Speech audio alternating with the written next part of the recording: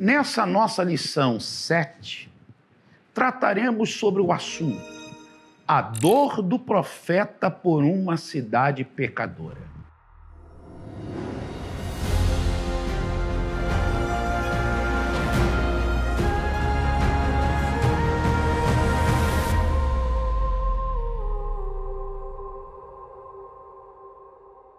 Essa lição 7 ela sai um pouco do livro profético de Jeremias, mas entra no livro das Lamentações.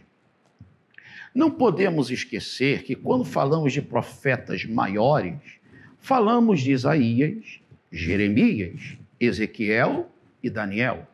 Mas esta sessão ela possui quatro profetas mais cinco literaturas, cinco livros. E logo após a leitura do livro de Jeremias, está inserido o livro das Lamentações. Afinal, muitos estudiosos dão autoria ao profeta Jeremias. E essa sétima lição vai focar um pouquinho sobre Jeremias neste período. Na realidade, quem está escrevendo Lamentações é uma testemunha ocular de tudo que está acontecendo para o Reino do Sul. Ou seja, tudo que fora profetizado agora se torna uma realidade. As tropas babilônicas estão ali sitiando e depois destruindo o Reino do Sul e depois a sua capital. Quando observamos, vamos logo entender que a expressão lamentações tem o seu significado de alto choro, lamento, um canto fúnebre.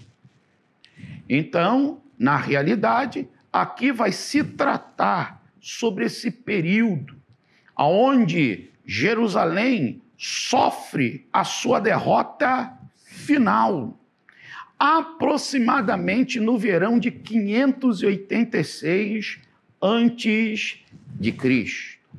Quando começamos a observar sobre a destruição da cidade de Jerusalém, ela ocorre pela rejeição a palavra do Senhor, no qual Deus levantava os profetas para lhe ministrarem. Dentre esses, tinha um representante que era o próprio profeta Jeremias, que não parava de alertar, de chamá-los ao arrependimento e também anunciar que tudo o que estava acontecendo era uma consequência pela vida do pecado que, leva, que, que os levaria a uma cabal destruição. Agora, quais seriam as causas da destruição de Jerusalém? Quando o irmão lê lá em Lamentações 1, versículo 1, Deus vai falar que essa cidade estava imunda por causa do seu pecado. O pecado trazia imundície para Israel. Ainda na leitura do 2 e 21, continuaremos a observar que eles estavam em pecado, haviam errado o alvo que Deus assim havia determinado. Os pecados da nação haviam se multiplicado. O capítulo 1 vai ressaltar tal fato. Assim fica nítido que Israel estava banhado com a sua capital em pecado. Então, a população, também os líderes religiosos, como os líderes políticos, todos estavam em transgressão diante do Senhor, ao ponto do Senhor falar que a maldade da nação era maior do que de Sodoma e de Gomorra. E o pecado havia feito com que a nação perdesse a sua coroa. Ainda observamos que as consequências deste pecado foi o que? O sofrimento. O sofrimento da amargura. o extermínio de sacerdotes, profetas e até anciões, a juventude, o futuro da nação experimentou a morte, as mulheres e as virgens de Sião foram violentadas. Meninos e crianças padeciam necessidades. E os israelitas estavam enfrentando medo e também perdendo a sua formosura física. Ou seja, ali começou a se praticar o canibalismo. Pessoas acostumadas a comer iguarias, boa alimentação, agora se alimentavam de restos de monturos. Tudo isso consequência do quê? Do que Israel havia plantado. Plantou e agora estava colhendo o que Paulo fala lá em Gálatas 6:7. O que o profeta Oséias também falou, ou seja, eles plantaram vento e agora estavam colhendo tempestade. Em meio a tudo isso, o profeta sente a dor de estar contemplando, sim, o cumprimento da palavra do Senhor. Por um lado, era Deus cumprindo a sua palavra, mas ele não podia deixar de sentir a dor de ver tudo aquilo. E, de certa maneira, também sentir a dor de ter visto uma nação que tinha opção de não passar por aquilo, mas optou quando praticou, viveu e desejou o pecado. Então, quando lemos aqui, pelo menos em três momentos em Lamentações, temos o escritor falando sobre o derramar de lágrimas, o banhar dos seus olhos. Agora, claro é que Deus é Deus de esperança, e a esperança não morre, porque a esperança é o próprio Deus. Então, circunstâncias adversas são transformadas pelo poder de Deus. E o conceito de esperança, oriunda do grego elpis, significa uma expectativa favorável e confiante. Ou seja, Deus é o Deus de esperança.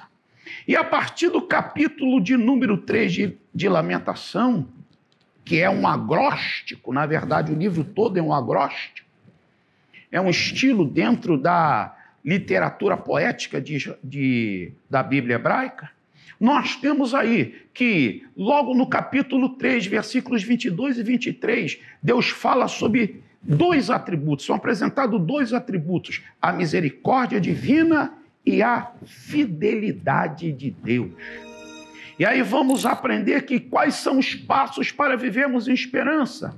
Espere no Senhor, busque o Senhor, mantenha a esperança, aguardar a salvação do Senhor, suporte o jugo, o momento de adversidade, ter paciência diante das provas, demonstrar humildade, reconhecendo que Deus tem total poder para um dia reverter tudo aquilo, mas eu preciso continuar me colocando com pó na boca e clamando ao Senhor voltar-se, dar a volta em direção ao Senhor, ou seja, das costas para a antiga vida, para o pecado e voltar para o Senhor.